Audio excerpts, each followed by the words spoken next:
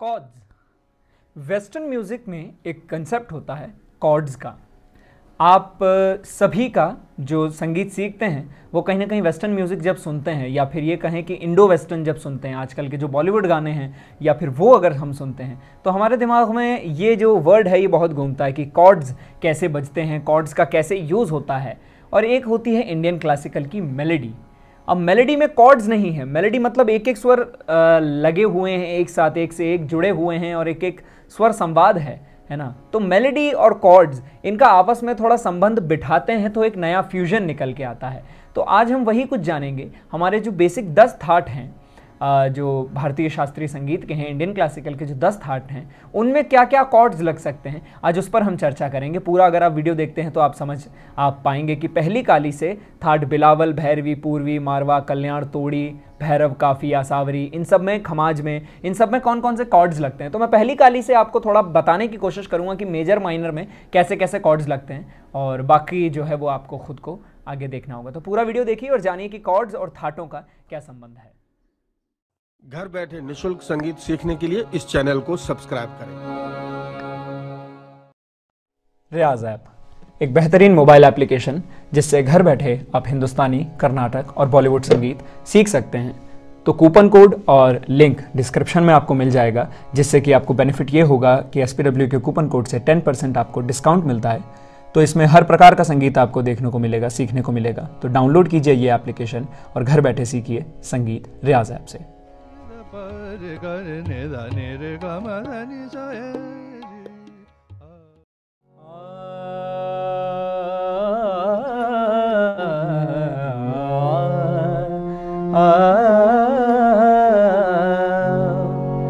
हाल ऐसा नहीं, हाल ऐसा नहीं कि तुम से कहें एक झगड़ा नहीं कि तुम से कहें।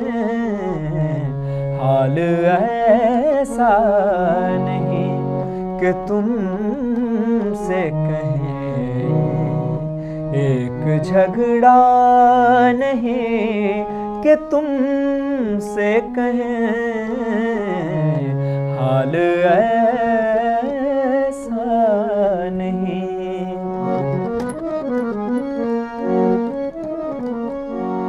सब समझते हैं और सब चुप हैं। सब समझते हैं और सब चुप हैं। कोई कहता नहीं कि तुम से कहें। एक झगड़ा नहीं कि तुम से कहें। हाल ऐसा नहीं।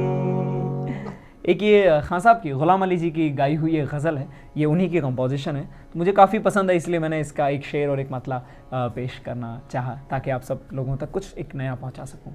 तो आइए, अब बात करते हैं हम कॉर्ड्स पर और दस थाटों पर। सबसे पहले तो आप एक कॉपी निकाल लीजिए और एक आपकी एक टेबल बना लीजिए, जिसमें कि यहाँ माइनर और, यहाँ मेजर और यहाँ माइनर आप लिख लीजिए। और ऊपर स्केल का नाम लिखा हुआ है सी शार्प अब एक एक करके थाटों का नाम लिख लीजिए कि सबसे पहले बिलावल थाट, फिर आपका भैरवी थाट, फिर आपका कल्याण थाट, भैरव, काफ़ी, खमाज अ, आसावरी मारवा पूर्वी तोड़ी। ये स्वरांगिनी के अनुसार दस थाटों का क्रम है। आप कोई सा भी क्रम आप चुन सकते हैं। अब इसमें कौन कौन से कॉर्ड्स का प्रयोग हो रहा है वो मैं आपको बताऊँगा और कौन कौन सो का नहीं हो सकता है वो आपको देखना होगा। है ना? सबसे पहले तो आप ये जान लीजिए इनमें स्वर कौन कौन से लगते हैं? बिलावल में जैसे कि सभी शुद्ध हैं भैरवी में रेगधनी कोमल है कल्याण में मध्यम तीव्र है भैरव में रेध कोमल है काफ़ी में ग नी कोमल है और खमाज में नी कोमल है आसावरी में ग ध नी कोमल है।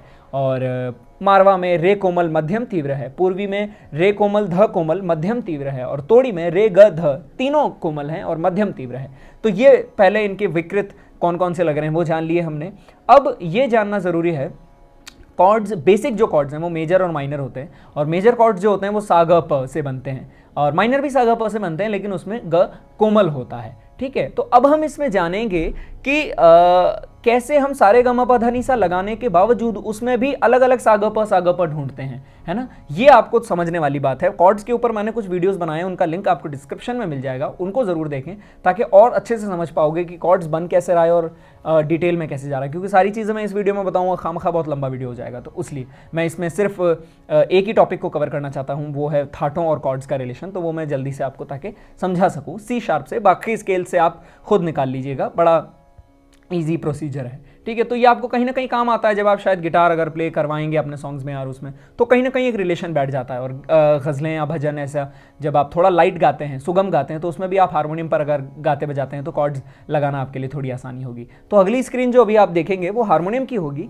और उसमें आप समझ पाएँगे कि कैसे कॉर्ड्स लग रहे हैं और कौन कौन से स्वरों का हम यूज़ कर रहे हैं। और सारे गम पध निशा में से ही कैसे सागप सागप अलग अलग निकाल रहे हैं? क्योंकि सागप जब आप दूसरा निकालेंगे तो स्केल आपको बदलना पड़ेगा, लेकिन थाट नहीं बदलेगा। तो वो कैसे होता है, वो आप देखिएगा। पूरा वीडियो आप देखें स्क्रीन पर। तो जैसा कि आप देख सकते हैं, ये पहली काली है। यहाँ से सा, रे, ग, म, प, ध, नी, सा, ये आपका हो गया बिलावल थाट ठीक है, अब यहाँ से अगर हम कॉर्ड्स निकालेंगे तो सबसे पहले ध्यान देने वाली बात यह है कि सारे स्वरों को आप देख लीजिए ऊपर नीचे। सा, नी, ध प प नी सा, सारे ग म प नी सा, है ना? सारे ग म। कौन कौन से सुर लग रहे हैं, वो आपको मालूम होना चाहिए। उसके बाद सा ग प बनाना शुरू कीजिए। सबसे पहले सा से बनाइए। सा ग प। इनके इंग्लिश नाम भी आप जान लीजिए पहले। C C sharp D D sharp E F F sharp G G sharp A A sharp B तो ये आपके बारह नाम हो गए। ये आपको मालूम होने चाहिए। ऊपर भी सेम ही रहता है। C C sharp D D sharp E F F sharp है ना? नीचे भी सेम रहता है, जैसे बी हो गया, ये शार्प हो गया, ये जी शार्प हो गया एफ़ शार्प हो गया, सब सेम रहता है। अब अगर पहला आप सा से अगर कॉर्ड बनाते हैं तो ये बनता है। सा, ग, प। इसको अगर उल्टा भी कर दो तो भी ये प, सा, ग बन जाएगा। और उल्टा कर दो, ग, प, सा। तो कॉर्ड लगभग यही है। सा भी ऐड कर दो ऊपर भली ना? ये ग, प, सा, ग, ये कर दो। पर ये कॉर्ड ये सेम ही कॉर्ड है। प, सा, ग, प, ये कर दो फली या ये कर दो। तो बिलावल का पहला कॉर्ड बनता है मेजर सी शार्प है ना? माइनर सी शार्प नहीं बन सकता क्योंकि ग कोमल करना पड़ेगा और ग कोमल बिलावल में लगता नहीं है। ठीक है? तो इसमें यही कॉर्ड बन सकता है। अब ऋषभ से आते हैं। अब ऋषभ को अगर सा मानते हो तो और फिर अगर कॉर्ड बनाते हो तो क्या बनता है? तो ये क्या बना? डी शार्प माइनर क्योंकि सा, अब डी शार्प से मानो आप सारे गम पदनी से निकालते हो। इसके लिए आपको थर्ड स्केल्स का नॉलेज आना ज़रूरी है। और उसके लिए आपको वो टेबल मालूम होनी चाहिए जो है कि पहले आता है सा, फिर आता है कोमल रे, शुद्ध रे, कोमल ग, शुद्ध ग, शुद्ध म, तीव्र म, प, कोमल ध, शुद्ध ध, कोमल नी, शुद्ध नी। अगर ये मालूम है तो ये हर स्केल से निकलता है, जैसे दूसरी काली है। यहाँ से सा, कोमल रे, शुद्ध रे, कोमल ग, शुद्ध ग, म, तीव्र, प कोमल ध शुद्ध ध, कोमल नी, शुद्ध नी, है ना? तो अब यहाँ से जो कॉर्ड बना तो ये क्या बना? सा, ग, प, और ग कौन सा बना? सा, रे, ग, यानी ग कोमल, दूसरी काली के हिसाब से। तो ये अपना हो गया डी शार्प माइनर तो बिलावल का पहला कॉर्ड है सी शार्प मेजर दूसरा कॉर्ड है डी शार्प माइनर अगर इसको आप रिवर्स भी कर दो तो तो भी ये वही कॉर्ड है। कैसे भी बजा लो। ग, प, सा करके बजा लो, प, सा, ग करके बजा लो, सा, ग, प करके बजा लो, या ऐसे बजा लो। है ना तो? है ना? अब लेकिन निर्भर ये करता है, आप कौन सा कॉर्ड पे स्ट्रेस देना चाहते हो, है ना? अगर आपने ये बजाया तो क्या साउंड कर रहा है? और अगर ये बजाए तो? तो क्या साउंड कर रहा है? क्योंकि ऑटोमेटिकली उसमें जो है, उसमें टिकाव इस पर जा रहा है। है ना? तो निर्भर ये करता है कि कौन सा सुर आप लगा रहे हो और किस पर आपको टिकाव देना है तो वो कॉर्ड आप यूज़ करते हो, जैसे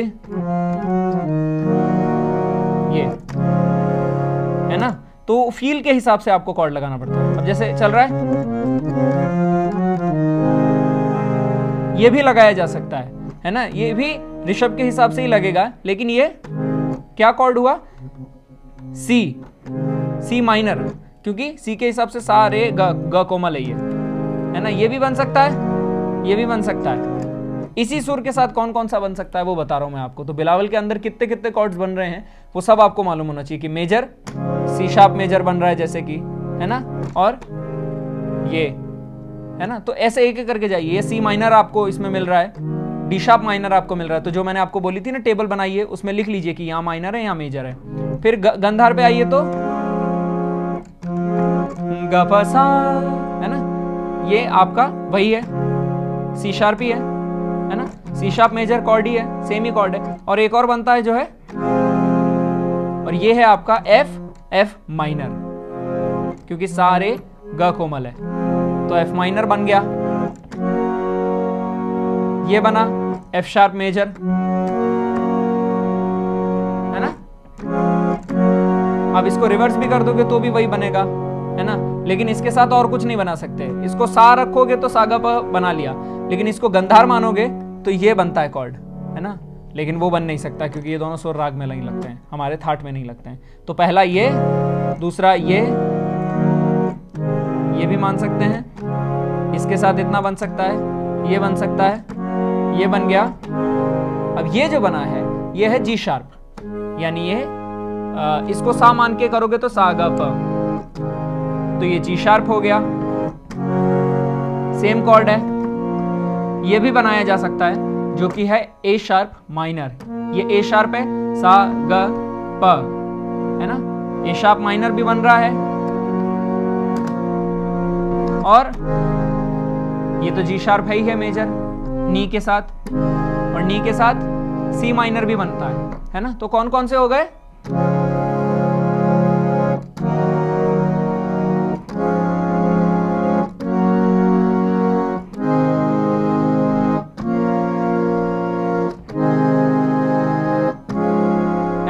लेकिन ये सारे काम पता नहीं सा बजाते समय आप यूज़ नहीं कर सकते हैं, क्योंकि स्वरों का टिकाव अलग अलग हो रहा है।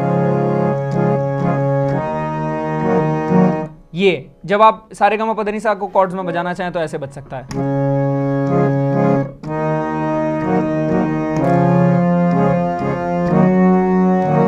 तो आप देख रहे हैं मैं भराव के लिए किन किन स्वरों को यूज़ कर रहा हूँ।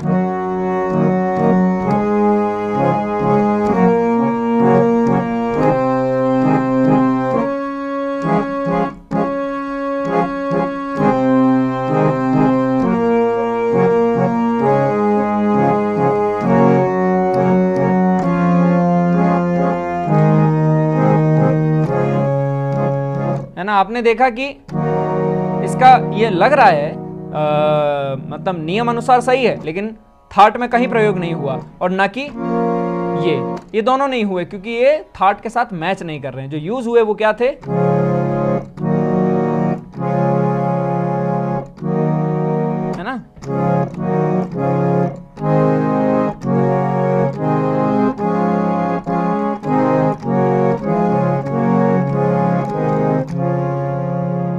ये लगभग कॉर्ड इस्तेमाल हुए। अब अगर आप इसी में भैरवी थाट में जाएँगे तो आपको कोमल लगाने पड़ेंगे और ये सी शार्प माइनर से शुरुआत होती है। है ना? ऐसे ही करके और भी बहुत सारे कॉर्ड्स बन रहे हैं। लेकिन वो हम जानेंगे आगे इन फ्यूचर तब तक आप ढूंढिए कॉर्ड्स क्योंकि बहुत बड़ा वीडियो हो जाएगा अगर मैं ऐसे करके सारे कॉर्ड्स जिसमें बता दूँगा। तो कोशिश करता हूँ अगले वीडियो में बताता हूँ कि भैरवी थाट में आ, कौन से कॉर्ड्स लगते हैं ठीक है? तो तब तक के लिए देखते रहें संगीत प्रभाव वर्ल्ड का चैनल और आगे ऐसे ही आप खुद मेरे को एक बार ढूंढ के बताइए कि इसी तरीके से आप भैरवी में अगर कॉर्ड्स ढूंढना चाहें तो कौन से कॉर्ड्स आपको मिल सकते हैं ठीक है? तो देखते रहें संगीत प्रभाव वर्ल्ड का चैनल एंड सब्सक्राइब ज़रूर करें।